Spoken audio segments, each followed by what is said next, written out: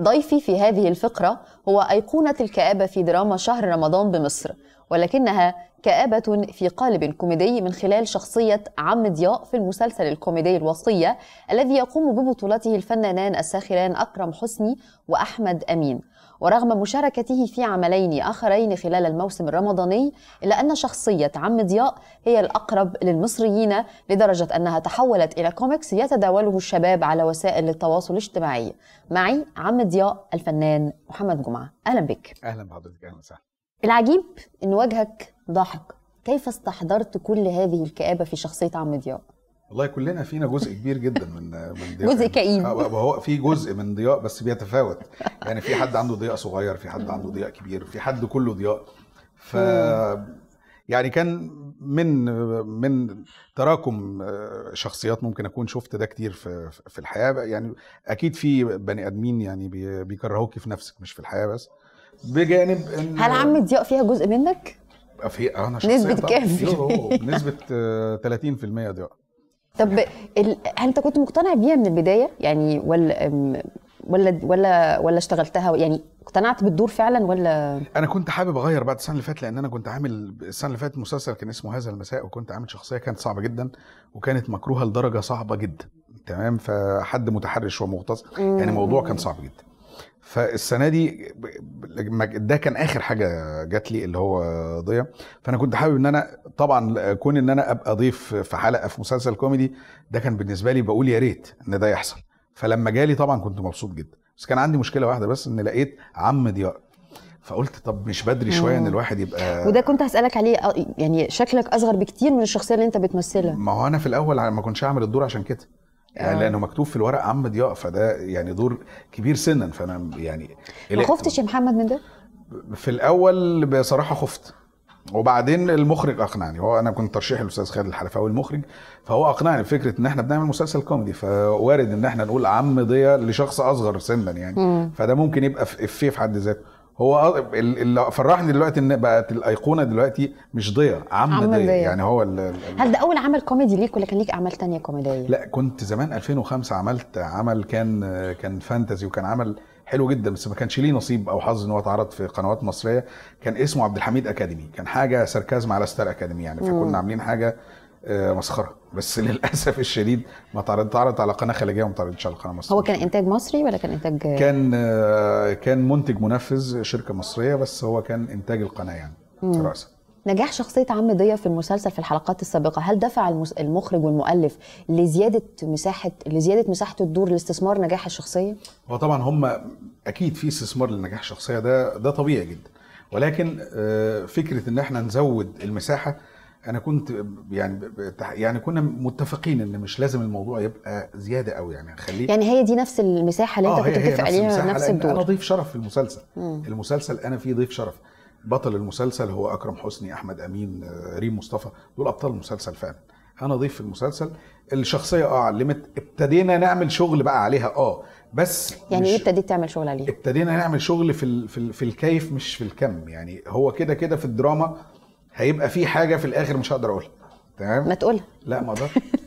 تمام؟ في مفاجأة يعني في آخر المسلسل على شخصية ضيا ده. تمام؟ بس اتصعدت شوية يعني ابتدينا نفرش لها شوية علشان تبقى بشكل ده جه بعد نجاحها من الحلقات الأولى ده العرض جه بعد من بعد عرض من الحلقات الأولى و... و... والمنتج. آه، كريم ابو ذكري من أوائل الناس اللي اتكلمت فكرة إن إحنا نطور الموضوع يعني. بعد نجاحك في في الوصية هل جات لك آه، عروض أخرى أدوار أخرى؟ ممكن يكون المخرجين شافوك بشكل مختلف. إحنا لسه في رمضان. جميل يعني لسه ما فيش أي مشاريع حاليا. أنا عندي كده كده مشروع بعد العيد فيلم إن شاء الله. بس ال ال ال في الوقت ده لسه ما فيش الناس مشغولة بالتصوير كل كل الناس شغالة يعني ما فيش حد فاضي دلوقتي. ومحدش عنده تفكير في مشاريع مستقبلية لسه دلوقتي. حاله ونحن في رمضان يعني. إنما كل اللي أقدر أقول عليه إن الحمد لله ان ضياء خرجني من من قالب أنا ممكن كنت أتحصر فيه فكرة الشر أو ال- الفيلن عموما ده. خرجت منه ده كويس جدا. أنت في مرة قلت إنك في مرحلة لا تجعلك تمتلك رفاهية اختيار الأدوار. لأن التمثيل هو مصدر رزقي الوحيد. هل تعتبر أن المشاركة في الدراما والسينما وظيفة؟ مش وظيفة ولكن أنا محترف. أنا خريج معهد فنون مسرحية. احترفت التصريح ده تحديدا كان بيتقال لي أنت بتشتغل حاجة تاني فقلت له لا أنا ما عنديش شغل تاني أنا شغلي الوحيد هو الفن هو التمثيل أنا محترف العمل ده وده طبيعي جدا في كل مكان في العالم في ناس محترفة لل- للمهنة مم. دي فأنا محترف المهنة فده مصدر دخل الوحيد من داخل المهنة سواء كممثل أو كمخرج مسرحي ده شغل الوحيد فقط ما عنديش فكرة بقى رفاهية ال- ال- الاختيار لما كنا بنقول أنا دلوقتي ما عنديش أو ما قبل أو وقتها يعني. وقتها لحد السنة دي أنا هقول لا المرحلة الجاية فيها رفاهية الاختيار طبعا. لو اتعرض عليا هيبقى عندي رفاهية اختيار أدوار إنما ما قبل ذلك لأن كنت بتسأل ليه وافقت على ده وعملت ده وعملت هل ممكن المخرجين أو المنتجين يشوفوك كممثل كوميدي صاعد ممكن تبقى زي على غرار بيومي فؤاد مثلا؟ آه هو بيومي فؤاد أيديال في منطقة تانية. هو طبعا فنان جميل يعني.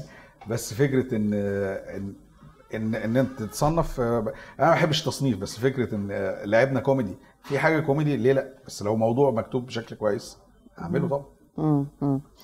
إيه كانت مهنتك قبل ما تدخل الفن أنا خلصت ثانوية عامة دخلت معهد فنون مسرحية أنا امتهنت الفن من آه، من الدراسة مم. يعني ما فيش ما كانش عندي حاجة تاني غير الفن يعني مم. يعني أنا خلصت ثانوية عامة بقالك كام سنة بتشتغل تقريبا ممكن أقول 15 سنة. على- بالشكل احترافي يعني. مم. 15 سنة ب...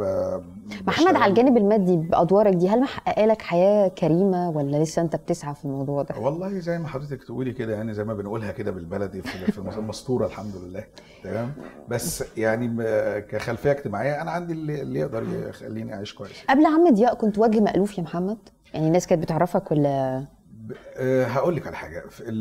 إحنا في عندنا مشكلة بس يعني ذاكرة الفيديو هي ذاكرة ضعيفة. أنا ممكن أكون عملت كام مشهد في السينما فممكن الناس تكون عارفاني بالمشاهد بتاعت السينما. وفي اللي متابع الفيديو أنا 2009 2010 2008 2009 2010 2008 كنت عامل بطولة مسلسل مع الفنانة يسرا كان اسمه فيت أمينة.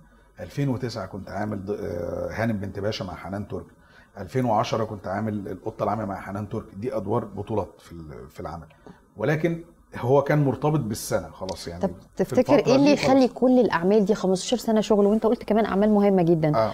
وما تتعلمش مع الناس غير عم ضياء.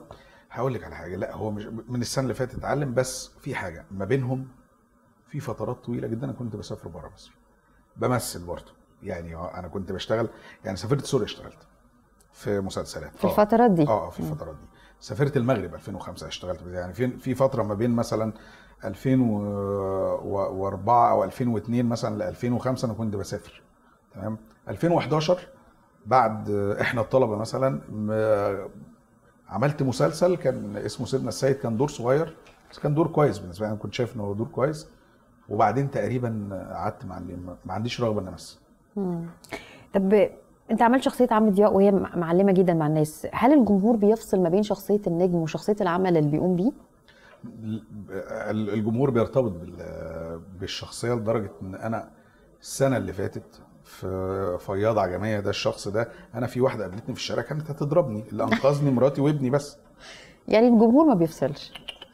خالص. جدا الفنان المصري محمد جمعة. شكرا جزيلا لوجودك معانا. شكرا شكرا.